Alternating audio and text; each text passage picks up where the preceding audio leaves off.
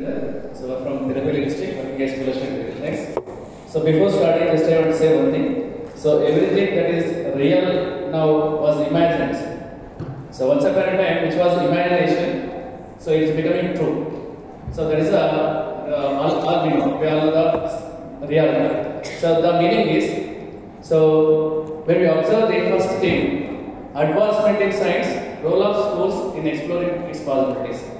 So my main motto of this one is our school is a laboratory. So how can we use the school as a laboratory and how can we advance in science? So that I want to explore here, madam. So that is the main what, madam. This is my topic. My school, my innovations, future scientist.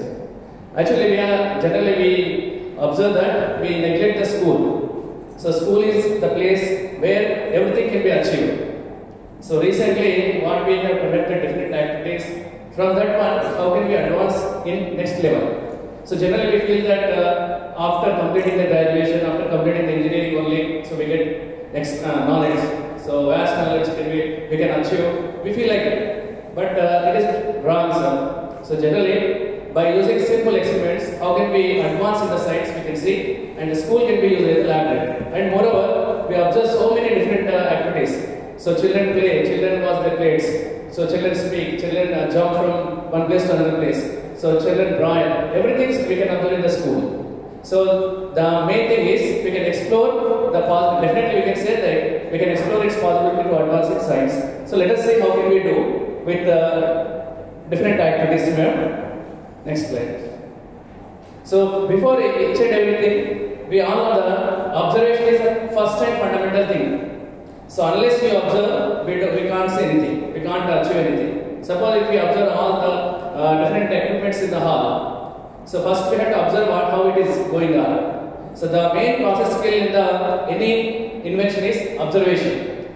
So unless we observe, we can't achieve. So what's the problem? How, how actually how to do everything? We have to get idea by observing the thing. Suppose just now Madam said, if the pins are falling at the ground, so that is the first observation. To avoid that one, so they made some plastic uh, bottle and uh, they used the plastic bottle as a pen stand. So in that only, in that also, we can say there is observation. Unless the student observed that one, he didn't prepare the, the same simple expect, so very useful item. Is it right? So we observe, observation is a primary first place. So we have to classifying, measuring, inferring, predicting, interpreting data, controlling variables, hypothesizing, and uh, experimenting and communicating. communicating. Generally, when we do any experiment in our school, we generally in the formative test we have all the things.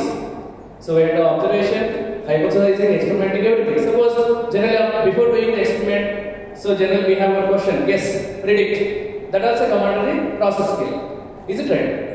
Right. So next uh, we use the process skills. How the process skills are used in our different activities we see. So this is simple experiment, simple activity with which we can uh, take the children to advanced level. Generally, when we take a graph paper, suppose if we are given some data, a large data, and ask you to draw a graph, graph gra- complete the graph. So generally, student one student that told that actually this graph paper is not sufficient, sir. I need a big graph paper.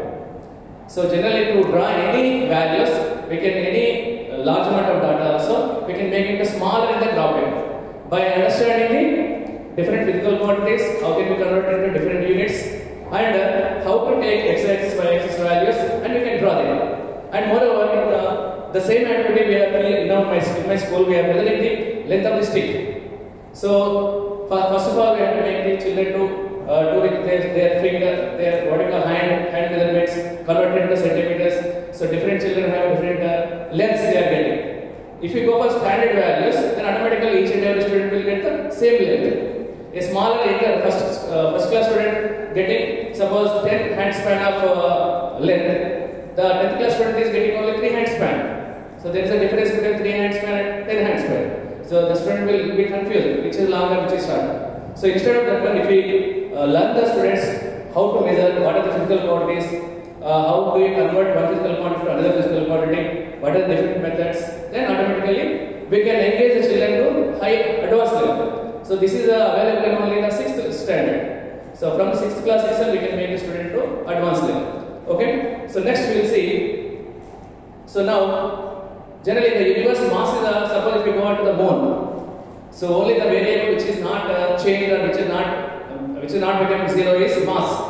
So though the weight is becoming zero, mass is not zero. So a simple law of conservation of mass can be understood in our school experiments that is uh, generally physics and combined with chemistry. So law of conservation of mass can be combined with double displacement reaction that is potassium iodide and lead nitrate. So when we combine before the combination, before the reaction, observe the weights. After the reaction, observe the weights. So the total, sorry, observe the weights and mass. So mass is same before and after the reaction. So the meaning is mass is constant, mass neither created, nor destroyed. So this is uh, the subject which can be combined with physics and chemistry. So children generally we feel that law of conservation of mass is the bigger subject, so we have to go for different things. But it's not like that. So chemistry is a chemistry, chemistry is physics, physics and chemistry also we can observe here. Okay. Next one. So now, generally, uh, we all know the great scientist Newton's. Suppose uh, we there is no need to go to ISRO stations to understand the rocket principle.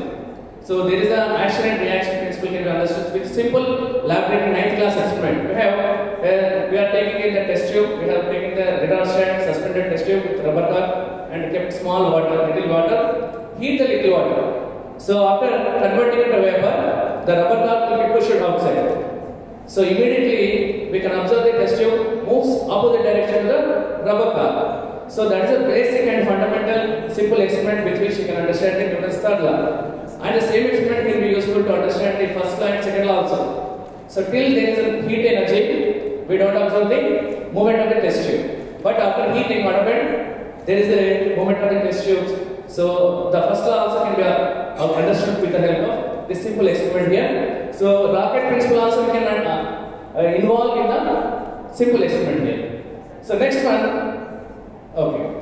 So refraction of light. So to understand the refraction we have so many activities here. Suppose uh, in the door we used to observe peepholes, uh, what you security cam- uh, mirror like that. So in that one we can understand the refraction concept. There is a lens, so convex and concave lenses. So with which uh, light can travel and one person only can see the person who is in the home can see the outside person.